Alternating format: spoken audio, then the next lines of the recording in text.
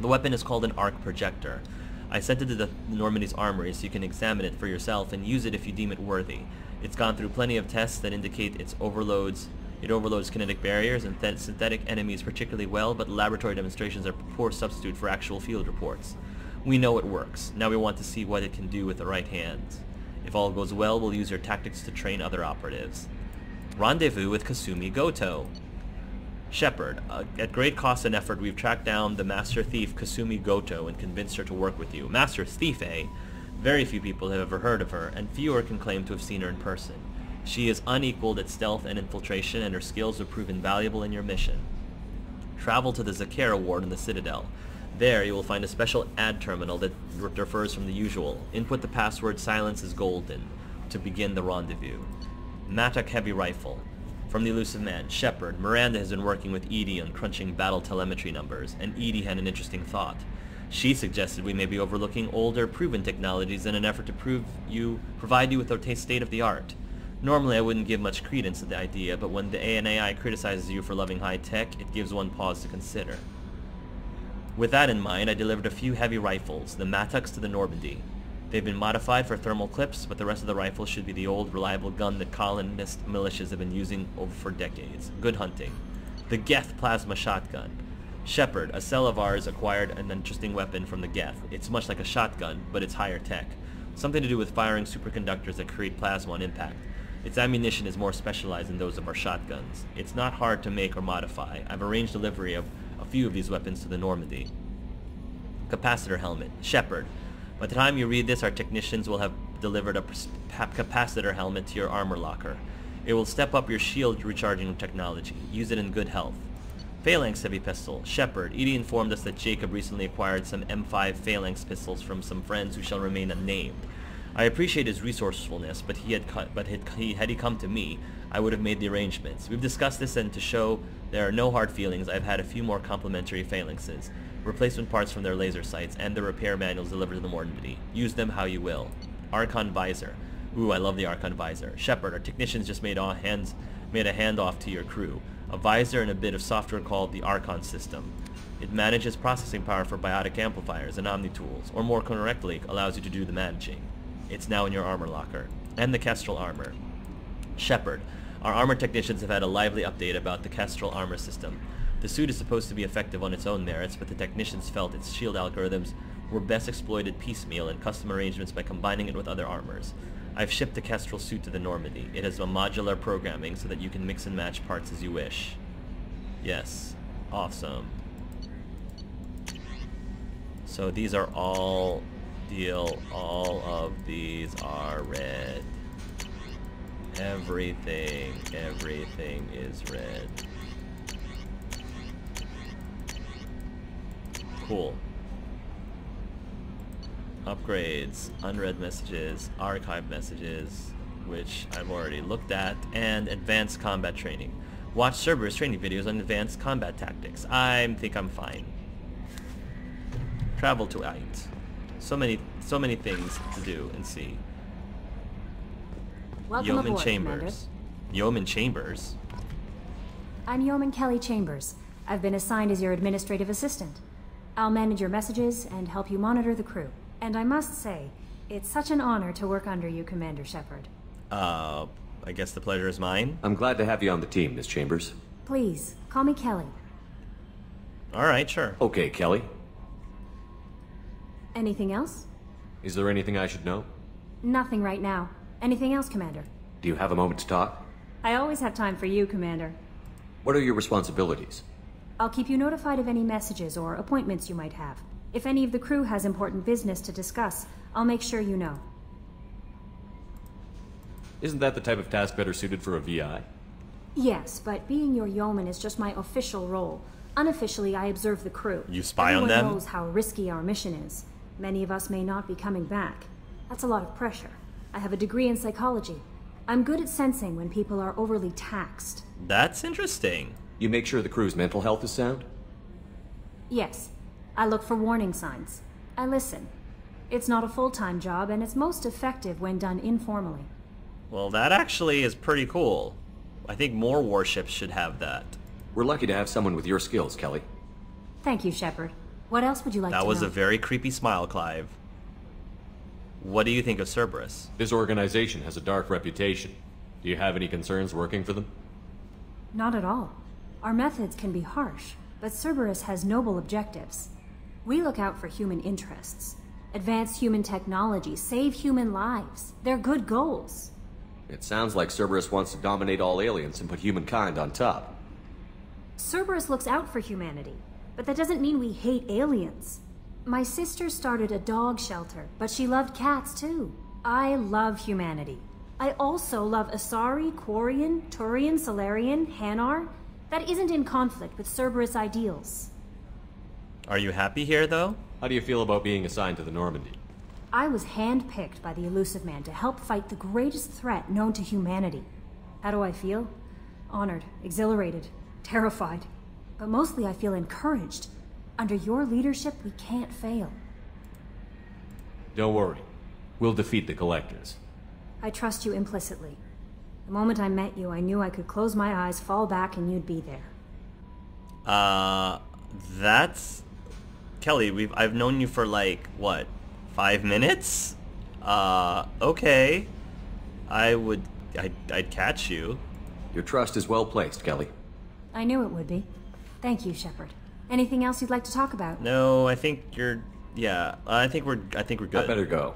Okay. Maybe we'll talk later. Maybe we will. Tech A scientist is required to use the technical laboratory.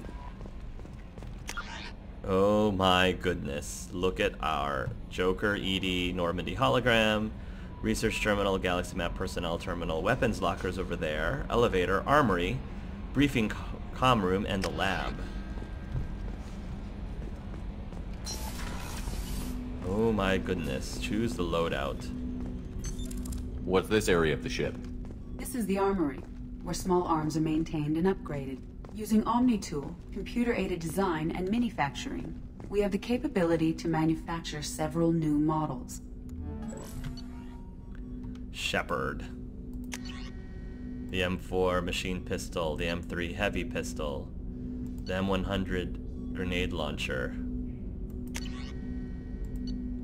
the arc projector. The arc projector um, ionizes targets with a non-visible laser to ready them for a high-voltage electrical attack. As the lightning-like bolt hits its first target, a sophisticated auto-targeting system paints succeeding targets with the ionization laser, allowing the electricity to take the path of least resistance and arc between them. An entire enemy strike team can be shocked to death with a few pulls of the trigger. That is pretty cool. It's like chain lightning. M3 heavy heavy pistol. The M5 heavy phalanx heavy pistol. The M5 uh, highly accurate and lethal sidearm effect. Well, let me read about this pistol. Reliable, accurate sidearm, effective against armor, weak against shields and biotic bar- barriers. Manufactured by Elanus Risk Control, the Predator is valued as a powerful, deadly, and relatively inexpensive weapon. While it is not generally deployed in the military, where kinetic barriers are common, it's still very popular in the terminus system, where these defenses are less common. Highly accurate and lethal sidearm, effective against armor, weak against shields and biotic barriers, uh, upgrades the Predator heavy, heavy pistol. The M5 Phalanx is the product of the Alliance's offensive handgun project that developed a close-in weapon to be used on unarmored or shielded targets with no loss of stopping power in comparison to the soldier's assault rifle. The Phalanx enjoys a ballistics advantage even over most hand cannons and features an integral laser sight, which is highly visible even in bright lighting conditions. Civilian variants are often purchased by colonists on planets that can have particularly dangerous big game animals. The grenade launcher, a rapid-fire grenade launcher favored by Blood Pack Vorcha mercenaries, capable of taking down multiple enemies with a single well-placed shot, effective against armor shields and biotic barriers, but I'm going to keep the projector. And the M4 Shuriken machine pistol, a common but effective submachine gun, fires three-round bursts and can be pulsed for a higher rate of fire at the expense of accuracy. Very effective against shields and biotic barriers. As kinetic barriers have grown in popularity, also has the popularity of submachine guns. Manufactured by the Elkoss Combine, the Shuriken machine pistol has a reputation for being deadly and easy to use, but is weak against armor. Jacob. The M23 Katana shotgun. Common military shotgun, deadly at short range, but ineffective at long range. Very effective against shields and biotic barriers, but weak against armor. Manufactured by Ariake technologies, the katana is a common mercenary weapon and is also popular in colonies with Varren infestations. The M22 Eviscerator Shotgun. The Liberschaft 2180 shotgun or eviscerator is one of, of human civilian design and has a unique ammunition generator. Where most modern firearms shave off chips or pellets from an ammunition block, the M22 shaves off serrated metal wedges designed to fly aerodynamically. This dramatically improves its armor-piercing capabilities. And its tight grouping helps wound ballistics at longer ranges than standard shotguns. This design also violates several intergalactic weapon treaties, so the M22 is not distributed to militaries. The Geth Plasma Shotgun. This three-barreled Geth weapon fires miniature but potent cluster rounds of superconducting projectiles and has a long range than standard, longer range than standard shotguns. A two-stage trigger system allows for either quick fire capacitors or a charge and release attack to electrify the projectiles as they exit the weapon. As the rounds hit the target, they fragment and electrify arcs between the pieces, flash converting the air into to conductive plasma. The resulting impact, heat, and electrical charge overload shields and barriers and causes massive trauma to unarmored targets. I'm going to keep him on the Eviscerator shotgun for now. The M3 Pred Predator Heavy Pistol. We already, yeah. I'm gonna give, I'm gonna give him the Phalanx. And Miranda. Actually, Jacob, just so there's a little bit of variety, keep the Predator. Miranda can have the Phalanx. And the, yeah. It's fine.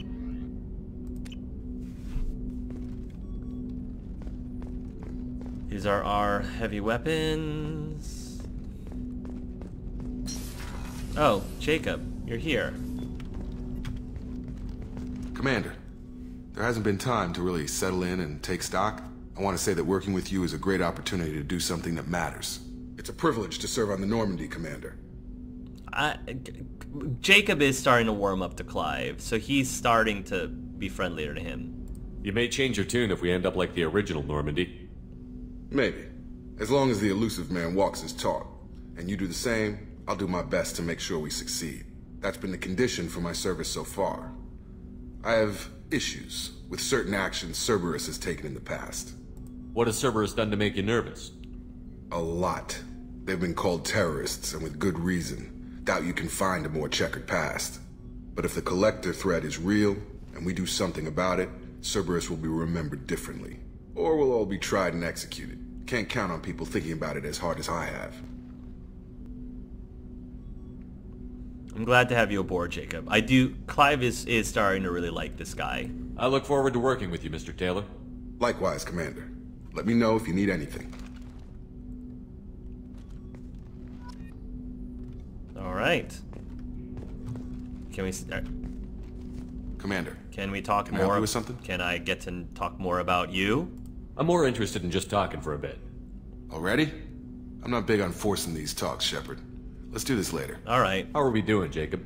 What's your sense of the mission? Probably the same as everyone else. I just want to figure out what the real threat actually is. Got no problem with risk. I just need a clear goal. Anything else, Commander? What do you think of the state of the crew? We don't have a full complement. We don't stand a chance without the right specialists on side. Anything else, Commander? I understand you made quite an impact after you left the Alliance. Miranda and I stopped a Batarian plan to release a biological agent on the Citadel. That's when I first met her. It took us out to the Nemean Abyss and back. Saved the Citadel like you, but what's the saying? A good deed's like pissing yourself in dark pants? Warm feeling, but no one notices. Wow, Jacob. The whole thing was hushed like they're good at doing. But I know what I did, and I'm proud. Okay, Jacob. Thank you. We'll talk later. Commander, Too too much information there, buddy. But thank you. Oh my goodness, look at that. You can see the core from here. Oh my goodness. Wow. This is the armory. Of course Jacob is in the armory. The tech lab. A scientist is required to use the technical laboratory. Ooh. What's this area of the ship?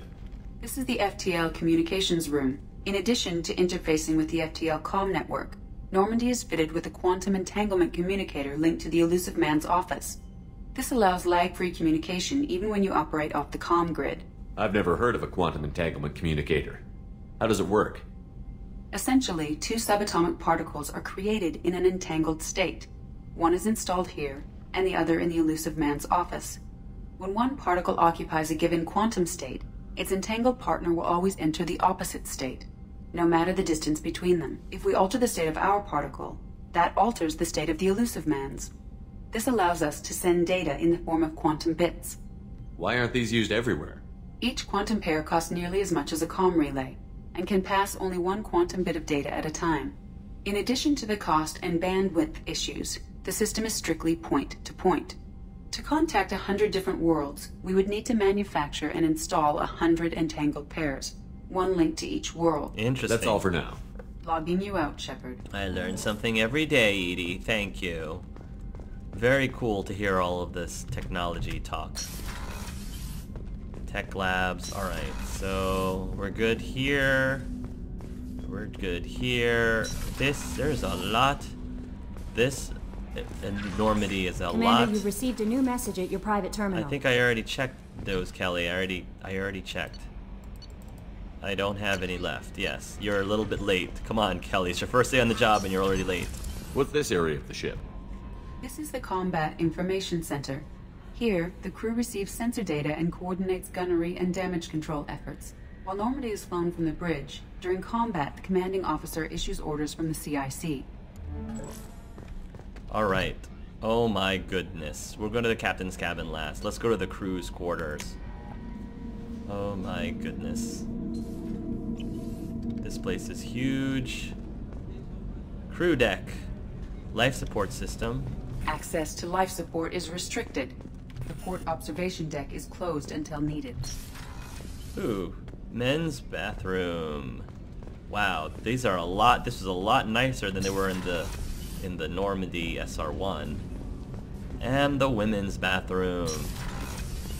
Oh yeah. I, The men's restroom is on the port side of the ship. well, what about the transgendered crewmen? What about the transgendered crew people? They should be allowed to go into the, whatever bathroom makes them feel most comfortable. EDI, did you ever think about that? Come on, EDI. Oh, she's a cutie. How old? Ah, she'll be a year old next month. Oh, you'll miss her first birthday. Well, my family lives in New Canton. Oh, uh, that colony's on the edge of the frontier. Could be vulnerable to collector attack, couldn't it? Exactly. It's most important that she have a first birthday. That's why I'm here. They really designed this place really well. And by design, I mean the programmers did a really good job of designing this so you could see this beautiful view of the core on several floors of the Normandy. That's pretty awesome. Oh my goodness. Uh, Chef surprise again? Come on, Rupert. I'm sorry, Princess. Filet mignon and caviar coming right up. Let me just get out my doilies. That'd be real nice, Mr. Gardner. Commander Shepard, the hero of the Citadel. You did humanity proud that day. Mess Sergeant Rupert Gardner here. How can I be of service? What do you do here on the Normandy? What don't I do? Most think of me as the ship's cook, but I'm also the facilities technician and custodian. that's important. HVAC, plumbing, non-mission critical electrical. I make sure they're all clean and running. So wait, you you clean our toilets and cook our food? So the man cleaning the toilets is also preparing the meals. I wash my hands. Most of the time. This ain't no luxury liner. You have to pull your own weight in a Cerberus vessel, and I catch what falls through the cracks. Yes. Through the cracks. I, I, I, I, I got it. I got it. I got it, sir. Uh, How do you feel about working for Cerberus? Damn proud. Cerberus gets the job done. The Alliance and Council have got their heads buried so deep up their butt puckers they can't see squat. It'll take good old human ingenuity to crush these collector vermin. Only Cerberus knows that. How did you find your way into Cerberus? Can you believe I was once a family man, working the eezo rigs along the frontier? I was happy enough, but losing everything to Batarian raiders can change your outlook. I needed to make a difference. I'm no soldier, but I've got skills, and Cerberus keeps an eye out for talent. I'll do whatever it takes to help. Be that plumbing a sewer, routing an air duct, or keeping everyone's bellies full. That those are all super important, and we really should recognize the people that you know are the foundation of you know our day to day here on the Normandy. So I'm glad I'm glad that the uh, programmers added a character like this because the people who have those types of jobs on these missions are so critical, and we just hardly ever give them the recognition they deserve. You have everything you need. I make do. But have you ever tried to prepare a decent meal with military provisions? I'm good, but I'm no miracle worker. Taking down the collectors is going to be rough business. The crew deserves a few fine meals before they throw themselves into the fire. So how can I help? Because I'm me being a foodie, I definitely want Clive to ask that question. What do you need? If I had some quality ingredients... Oh, shit. You've got more to worry about than grocery shopping on the Citadel. Forget I mentioned it. Try me. If I head that way, I'll keep an eye out. Much appreciated. Most of this list is probably standard fare for those namby-pambies on the Citadel. Anything else you'd like to talk about? Nothing else, sir. I won't take any more of your time. Back to work. Medical, elevator, Miranda's cabin, main battery, AI core, starboard observation, screw quarters, life support, and port observation. Let's try... Dr. Chakwas? Another familiar face? Oh. Commander Shepard. I watched the Normandy crumble with you on board. It's good to see you alive. Why are you here? It's good to see you too, Dr. Chakwas. Nice to see a familiar face, Doctor. I feel the same. I wish more of the original crew could be here. The kind of trauma you endured would have changed most people. But not you, I see. Welcome back, Shepard. Doctor, you've been with the Alliance for years. Why leave now? After the Normandy was lost, the surviving crew was reassigned. I was stationed at the Mars Naval Medical Center, a very respectable position, but it wasn't on a starship. Colonial military life isn't for you? I've spent most of my life on warships, never knowing what the next mission might bring. Mm. I'm used to the hum of engines, the creaking of bulkheads, that subtle vertigo when the momentum dampeners kick in. Life planetside is just too static, too boring. Mm. This is why I love you, Chalk, Dr. Chakwas. You are an amazing woman. You're not the Cerberus type, Doctor. I don't work for Cerberus. I work for you. On a mission that may be crucial to the survival of the human race. I have faith that your dealings with Cerberus will be ethical.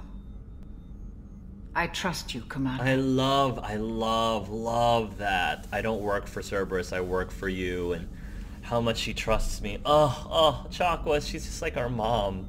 Oh my goodness. There's a very good chance this mission will be a one-way trip. Are you prepared for that? I've been through the reclaiming of Shanxi, the Skyllian Blitz. We survived the Battle of the Citadel and the destruction of the Normandy together. I've lived a full life. No regrets. I'd like to make sure the crew gets the same opportunity. That is super admirable of you. Super admirable. Alright. Dr. Chakwas, do you need anything? Do you have everything you need? I believe so. This medical bay seems very much like the sick bay on the original Normandy. Only thing missing are my private reserves. I even had a bottle of Serrice Ice Brandy that I was saving for a special occasion. I'll keep an eye out for a replacement bottle. Oh, you needn't. It's expensive, and we have much larger concerns ahead. Yeah, we'll see. I'll see you later, Doctor. Commander, Find Brandy. I love how that's a quest. Access to the AI core is restricted. Oh, of course it is. What's this area of the ship? The sick bay. It is equipped to provide short-term emergency care. In the event of critical injury, personnel must be transferred to a fully equipped medical facility.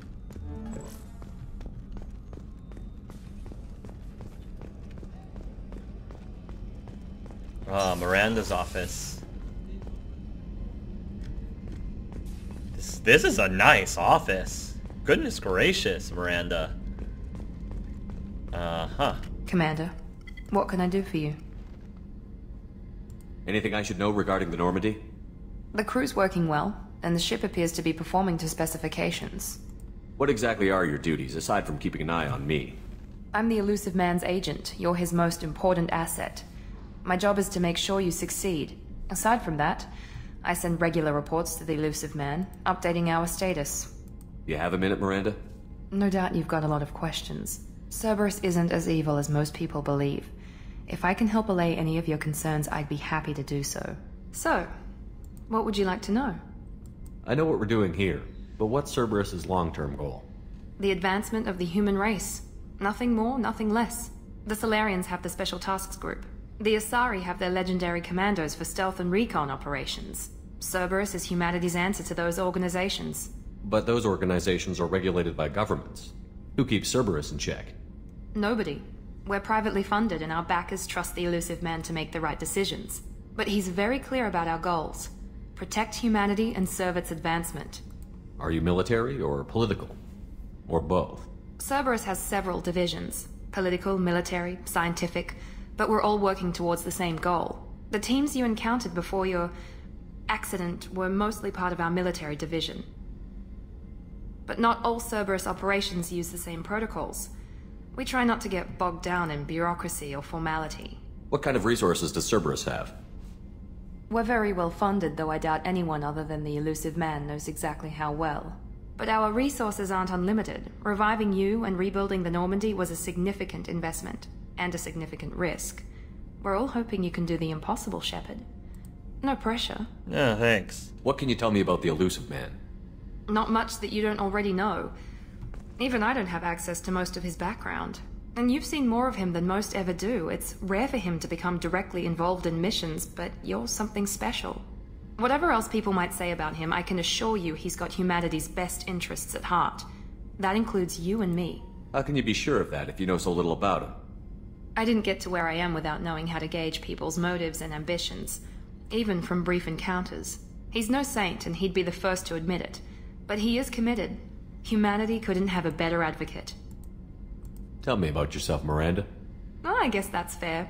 I've spent the last two years learning everything there is to know about you. Well, you should probably know that I've had extensive genetic modification. Not my decision, but I make the most of it. It's one of the reasons the Illusive Man handpicked me. I'm very good at just about anything I choose to do. Really? No. You certainly don't lack for confidence. It's just a fact. My Well- reflexes, my strength, even my looks, they're all designed to give me an edge. No point in hiding from it. It's the reason I'm trusted to oversee the most dangerous, risky, and technically demanding operations Cerberus undertakes. And it's why I was assigned to you. It's my job to make sure you succeed, Shepard. What level of genetic modification are we talking about? That's very thorough. Physically, I'm superior in many ways. I heal quickly, and I'll likely live half again as long as the average human. My biotic abilities are also very advanced. For a human. Add to that some of the best training and education money can buy, and, well, it's pretty impressive, really. Uh, okay. Thanks for the information, Miranda. I'll talk to you later. Of course, Commander, whatever you need. There's nothing wrong with a confident woman. In fact, in fact, that's the thing. I feel like, I, I feel like, um, I mean, depending on where you are culturally, uh, when you have a woman, especially a woman in a leadership position, and they're confident, they some people consider them right off the bat to be total bees, just because they're confident, and I think that's a little bit of a shame because I feel like you know, especially in modern society, women have to work extra hard for them to be able to rise up in, you know, rise up in the workplace, for example, or or forms of leadership, or even salary to have them, you know, it seems seems like women are still not quite equal to men when it comes to you know, what comes to salary and, and position and things like that in the workplace. And it's a big shame. So, of course, you know, being confident and, you know, being confident like that is a very good asset to you in order to help you become successful because you have to believe that you're just as good as anyone else on there regardless of what your gender is. So I, I, I get Miranda and I, I don't really get a I don't really get an arrogant vibe from her. I just think she's very confident. And I think that's a great thing. And I think that people need to think twice before they assess somebody who happens to be confident. You know, you know, they, they, they need to reassess whether or not that comes from a place of arrogance necessarily, or it's just because, you know, they're, they, they have high self-esteem. And there's nothing wrong with having high self-esteem. You know, it's, it's rather healthy. So, granted, it's also healthy to be humble too, but I think people tend to get all up in arms about about women and confidence, confident women.